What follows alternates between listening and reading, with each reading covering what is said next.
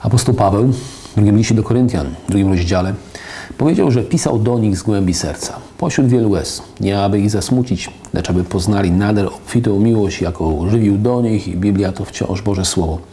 Skierowane do nas z głębi Jego serca i posłuchaj dziś tych słów. A cały lud odpowiadając, rzekł krew Jego na nas i na dzieci nasze.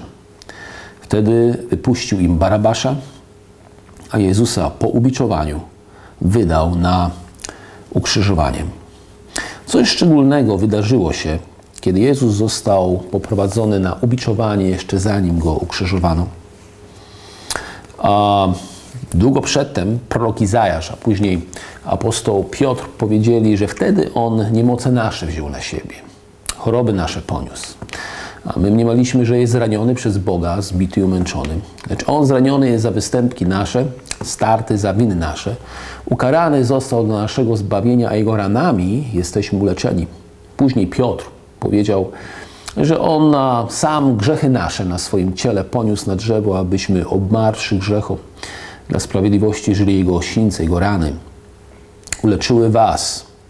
Więc każda rana zadana Mu wtedy uwolniła od naszego życia łaskę przebaczenia, nie tylko, ale i uzdrowienia wszelkiej choroby i wszelkiej niemocy. Faktycznie pomyśl, że Jezus uzdrawiał wszystkich chorych tą przelaną krwią, Jego przelana krew.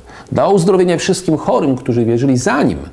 Przelana krew dała przebaczenie grzechów tym, którzy w to uwierzyli. On już za życia uzdrawiał i leczył, zanim ktokolwiek z nich był chrześcijaninem. I pomyśl, on czyni wciąż to samo.